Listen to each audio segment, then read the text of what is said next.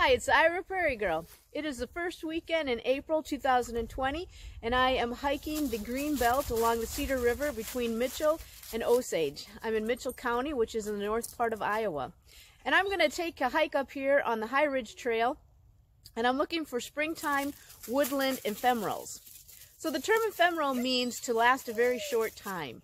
So we're looking for woodland flowers that bloom before the leaves come out. And if you can tell, you look up there, you can see that the leaves and the trees haven't even started to bloom yet. And if you look down into the leaf litter on the woods floor, you can see that it's full of sunshine. So these springtime flowers take advantage. Um, they bloom before the leaves come out. They take advantage of the sunshine while they still have it. And then by the time the leaves um, come out, they're done blooming and uh, there's no more, there, there's the forest floor is now shaded. So we're going to hike up here and hope that we find some hepatica, which is one of the first uh, springtime flowers to bloom in the woods. So stay with me as we hike up the High Ridge Trail.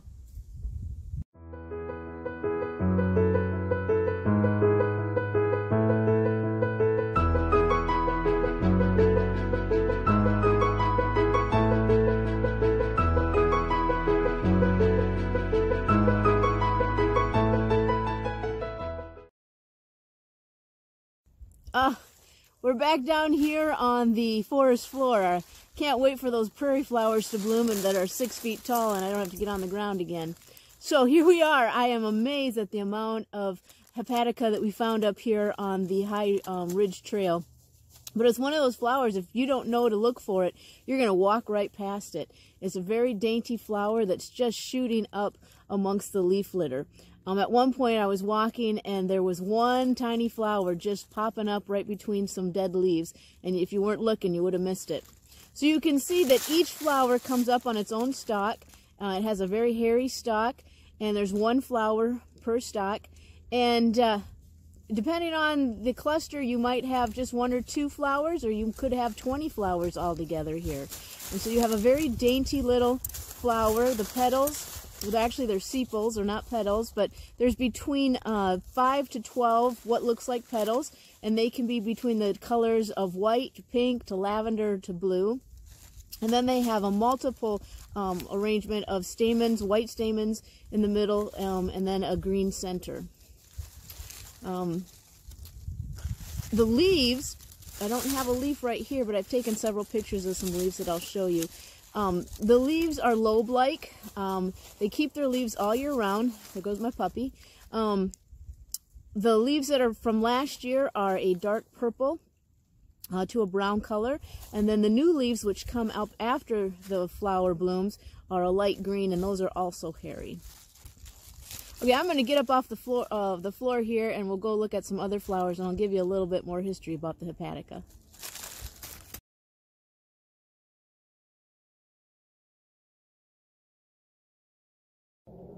So hepatica references the liver.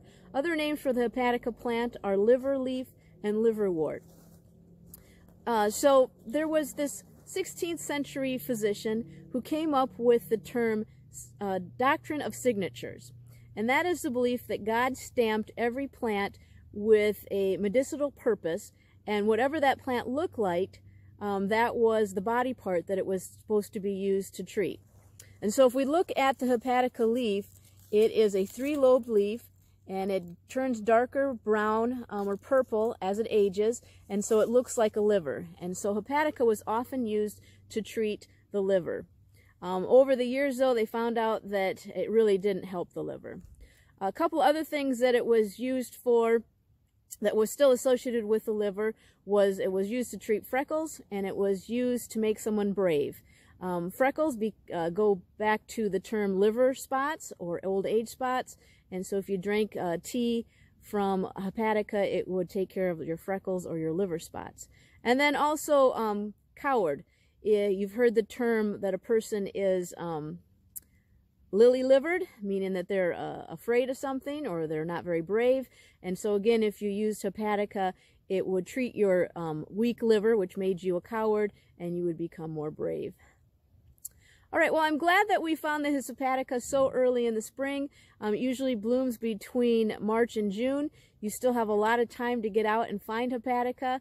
Um, many of the plants here are just starting to come up. I'll probably use some pictures from last year that uh, show Hepatica more uh, fuller in bloom.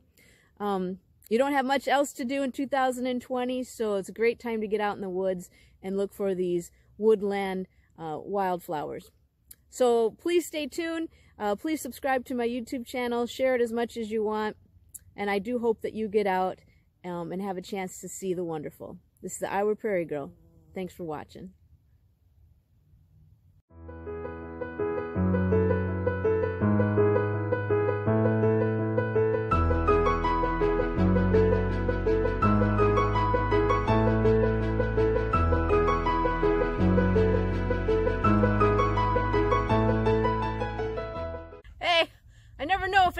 Makes it to the end of my videos, but one fun fact that I forgot to share.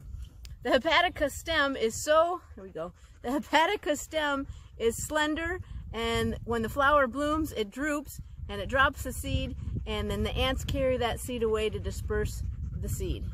Fun fact on the hepatica. Thanks for staying, thanks for watching till the end. Say goodbye, Fred.